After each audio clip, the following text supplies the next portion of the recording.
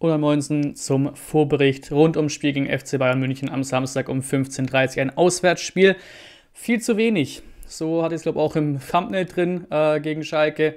Zum Stadionvlog natürlich, weil es war halt zum unpassendsten Zeitpunkt überhaupt die schwächste Leistung der Saison bisher. Das nach so einem guten Spiel in Köln da muss er wieder leider nur einen Punkt mitnehmen oder auch mit einem Punkt okay sein. Auch wieder eine rote Karte, da kommen wir später zu. Ähm, ja, diesmal lag es halt auch nicht mal an Chancenwucher. Das war ja das andere Thema in Köln. Diesmal waren ja keine da. Also spätestens nach dem 1 zu 1, wie gesagt, war Sendepause. Komplett enttäuschend, dieses blöde Alibi angekotzt gekicke, so als wären sie angepisst, dass es gegen Schalke nicht mit 5% Leistung gehen würde. Gegen jeglichen Bundesligisten geht es nicht mit 5% Leistung. Aber halt bei Schalke, na, es ist halt ein Aufsteiger, die spielen keinen besonderen Fußball, die sind Abstiegskandidat. Gegen wen willst du gewinnen, wenn nicht in einem Heimspiel gegen die, nach einem 1 zu 6 gegen Union? Na, also fünf Spiele, kein Sieg, vier Unentschieden an Niederlage, jetzt kommen die Bayern, danach zu Hause, Frankfurt, ähm, ja, danach Länderspielpause. Noch ist es ein okayer Saisonstart, der aber auch recht schnell zu einem schlechten Saisonstart werden kann. Klare Worte, die gab es zum Glück auch von Missentat und Matarazzo nach dem Spiel kein Schönsaufen oder wenig Schönsaufen wäre auch nicht angebracht, hat man aber in der Vergangenheit schon öfter. Äh, Materazzo mit äh, den Worten von ordentlicher Anfangsphase, ordentliche Leistung in Unterzahl. Alles dazwischen war nicht ausreichend. Ähm, die ganze PK nach dem Spiel jetzt bei Schalke auf dem Kanal habe ich natürlich auch, wie alles andere, in der Videobeschreibung verlinkt. Sehr hörenswert, finde ich. Und eben auch zum ersten Mal in der Saison schlecht gespielt, ein glücklicher Punkt. Rote Karten, die bekommen ihren eigenen Unterpunkt, das habe ich vorhin schon gesagt, gleich mehr dazu. Klar, es war eine sehr fragwürdige gelb-rote Karte von Wagnermann, auch eine fragwürdige Schiedsrichterleistung. Drexler hätte da wahrscheinlich auch mit Gelb-Rot vom Platz fliegen müssen, nach, mit seiner Szene danach. Oder du gibst eben, also entweder du gibst beiden Gelb-Rot oder gibst keinem Gelb-Rot. Ne? Er hat nur uns Gelb-Rot gegeben. Schwierig, bin auch das erste Mal im Spiel dabei gewesen, dass die Schiri-Leistung naja war, aber nicht spielentscheidend. Ne? Trotzdem, es geht hier um die roten Karten und da fehlt halt einfach über alle Pflichtspiele bisher komplett die Cleverness. So ganz doof gesagt, ich weiß, es ist naiv, aber ganz doof gesagt, dann bleibe ich da halt weg. Wenn ich gelb habe, bleibe ich da halt weg in so einem Zweikampf. Natürlich nimmt er das an, wenn ich meine Schulter oder meinen Körper da rausstelle. Klare Geschichte. Jetzt hast du im Pokal und die letzten beiden Bundesligaspiele jeweils rot bekommen. Drei in sechs, was Spieler angeht. Wenn du Materazzo in Kölner zurechnest, sogar vier rote Karten in sechs Spielen das kann halt nicht sein. So, das sind die Basics. Ein Spiel mit elf Mann oder natürlich auch im besten Fall mit der ganzen Bank äh, zu beenden. Das hätte auch in Köln geholfen. Bleibe ich dabei. So musstest du euch auch da mit einem Punkt zufrieden geben, leider. Immerhin das einzige Gute bisher, quasi nach den roten Karten, die Reaktionen darauf, weil wir haben kein Gegentor gefangen in Unterzahl. Böse Realität. Und ich will hier nicht anfangen mit Trainer, mit Thema Trainer gar nicht aufmachen, gar keinen Bock darauf. Ich vertraue da weiter Missentat und Matarazzo, gerade auch der Weg, der eingeschlagen wurde. Und womit mich diese Frage, diese Überlegung sowieso schon direkt ad acta gelegt wird, direkt vorbei ist für mich, ist eben die Frage des Ersatzes. So, wer soll kommen? Ne? Keine Ahnung, direkt vorbei ist Thema für mich. Aber böse Realität und die sieht schon ziemlich hart aus mittlerweile. Es sind 22 Bundesligaspiele im Kalenderjahr 2022 und das sind am Ende des Tages drei Siege bei rausgesprungen. Man kann auch den Pflicht, Pflichtspielsieg in Dresden dazu nehmen, es sind halt vier Siege, aber Bundesligaspiele sind es drei Siege aus 22 Spielen. Das müsste Gladbach gewesen sein, Augsburg und Köln. Dieses Saison ja auch noch keinen Sieg geholt. Letzter Auswärtssieg, haben wir jetzt ein Auswärtsspiel, letzter Auswärtssieg im Winter 2021 in Wolfsburg. So, ich bin bei Mislintat, der da auch sagt, wir hätten mit unseren Leistungen drei bis vier Punkte mehr verdient gehabt in dieser Runde bisher, an der Spielzeit 22, 23 ja, bringt halt nichts. Ne? So hättest du verdient, aber du hast es halt nicht. Es bringt halt nichts. Und ich bin ganz ehrlich, in alten VfB-Zeiten, mit anderem Management, wie auch immer, mit anderer ja, Haltung vom Verein und alles, hätte ich schon durchaus Angst jetzt in Sachen Trainerwechsel in dieser Länderspielpause, die jetzt demnächst kommt. Bayern München. Ich glaube, zu den Bayern brauche ich nicht allzu viel zu sagen. Glasklarer Favorit, brutal starker Kader, auch ohne Lewandowski, gutes Transferfenster gehabt. Interessant für uns vor allem hier, wir liegen zwischen zwei Champions League-Spielen. Das erste direkt gestern am Mittwoch souverän bei Inter Mailand problemlos 0 zu 2 gewonnen mit schönen Toren. Nach unserem Spiel am Samstag dann am Dienstag das Heimspiel gegen Barcelona. Und da wurde ich auch kurz einen Ticken traurig übertrieben gesagt, weil in Bayerns Spielplan sind wir dann so gesehen direkt über Barcelona, also auch vom Logo her direkt über Barcelona gelistet.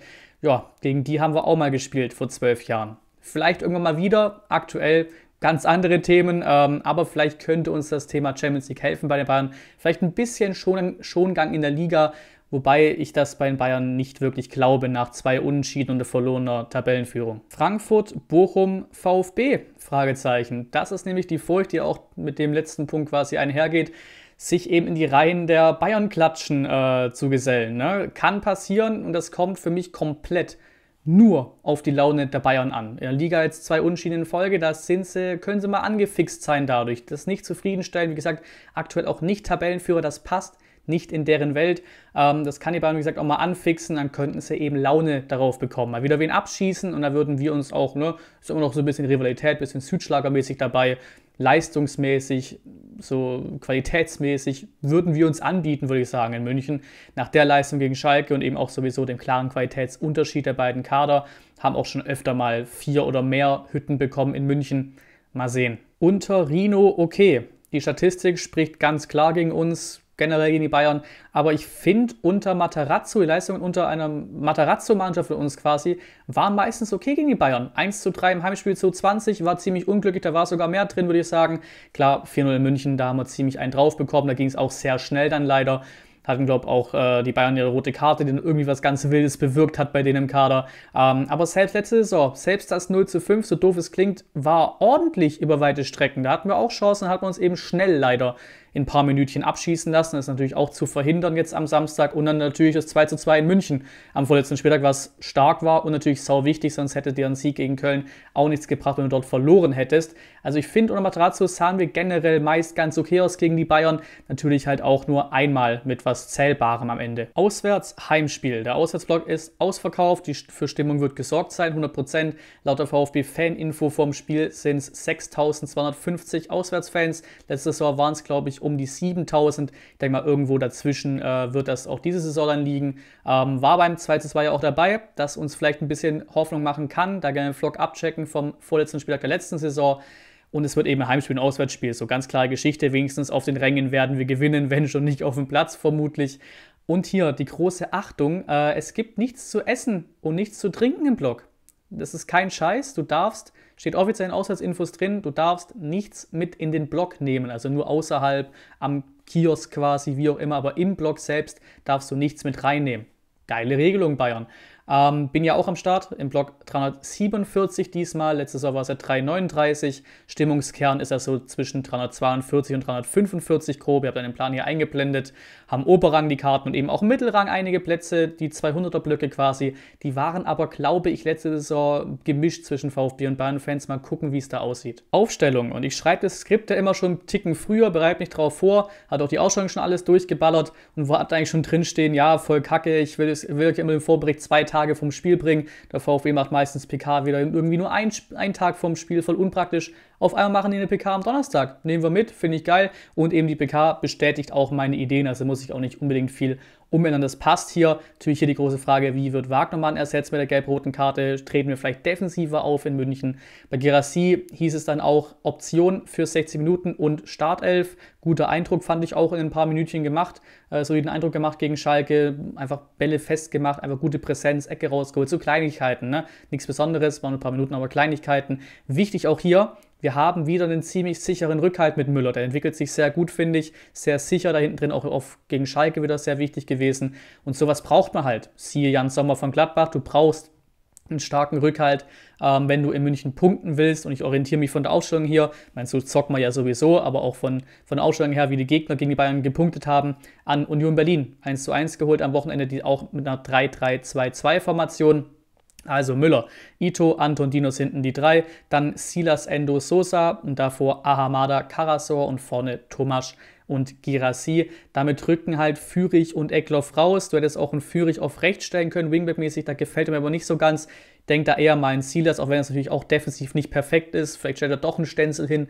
Mal gucken. Natürlich fehlt nach vorne so ein bisschen dann auch dieser kreative Fuß vielleicht mit Fürich oder Eckloff, aber sagen wir mal ehrlich, so viel gebracht hat er halt jetzt bisher auch nicht, diese, diese Zehnerposition quasi. Führe ich auch so ein bisschen klar Tor gemacht, aber da hofft man, hofft man sich ein bisschen mehr. Ecklofer engagiert, aber auch nichts, nichts wirklich bei rumgekommen gegen Schalke. Deswegen vielleicht mal ein bisschen defensiver mit Armada und Carasso. Armada trotzdem auch ein bisschen Drang nach vorne.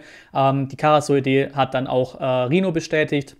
Ist eine Option und eben auch für, für die Kompaktheit wichtig, da halt doch dann Ticken defensiver in München ranzugehen. Scheiß drauf Mentalität. Genau mit der werde ich auch nach München fahren, sage ich wie es ist. Das ist dieses, dieses Scheiß drauf, wir haben hier nichts zu verlieren, man hat hier keine Erwartung, beziehungsweise eine Minimalerwartung, sich halt nicht abschlachten zu lassen und halt irgendwie dagegen zu halten. Ne? Aber sonst, klar kann man sagen, in jedem Spiel ist was drin, aber come on. Also ich meine, gegen die Bayern liegt es an den Bayern, wie das Spiel läuft. Die Bayern bestimmen dieses Spiel. Wenn die Bock haben, dann war es das halt für uns. So, so ist meine Sicht gerade auf das Spiel. Deswegen, scheiß drauf, wir haben nichts zu verlieren in München, haben nichts zu verschenken, ähm, schenken auch keine Spiele her, wurde auch auf der Pressekonferenz gesagt, klar, muss man sagen, sonst ne, wird man sich irgendwie ein bisschen lächerlich machen.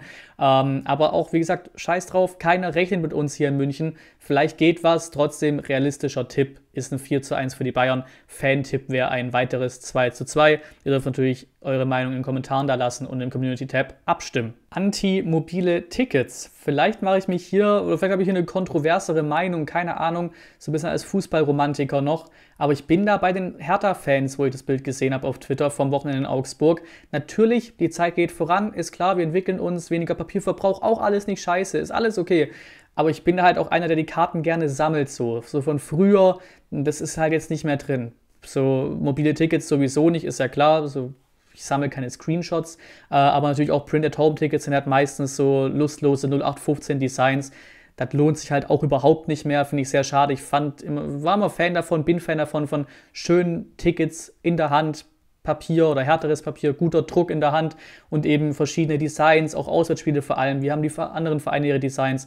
Finde ich viel geiler als diese ganze mobile Ticket-Quatsch da jetzt als in seiner Handy-Wallet zu haben. Aber klar, die Zeit streitet halt voran. Immerhin, die Dauerkarte habe ich ja auch noch in Chipform wenigstens physisch äh, in der Hand. Pokal 129 und MV. Noch drei schnelle Infos hier im Vorbericht mit rein. Pokalauslosung haben wir ja gestreamt, live gestreamt. Bielefeld haben wir bekommen als Gegner. Heimspiel, sehr, sehr geil, wurde jetzt genau angesetzt. Mittwoch, 29. Oktober um 20.45 Uhr. Am morgigen Freitag wird der VfB 129 Jahre alt, Gründungs- Datumsgeburtstag quasi. Dazu gibt es auch ein Video von mir. Äh, und am Sonntag ist Mitgliederversammlung. Volles Programm. Da ist Einlass ab 11 Uhr in der Porsche Arena. Und hier, wie immer, der gesamte Spieltag noch getippt. Interessant für uns ja vor allem auch natürlich Bremen-Augsburg oder auch Schalke gegen Bochum. Direkt 18.30 quasi auf der Rückfahrt von München kann man da verfolgen, was da passiert bei unserer Konkurrenz da unten. Bedanke mich fürs Zuschauen. Gerne das kostenlose Abo da lassen, wenn euch gefällt, was hier auf dem Kanal passiert. Und bis zum nächsten Mal.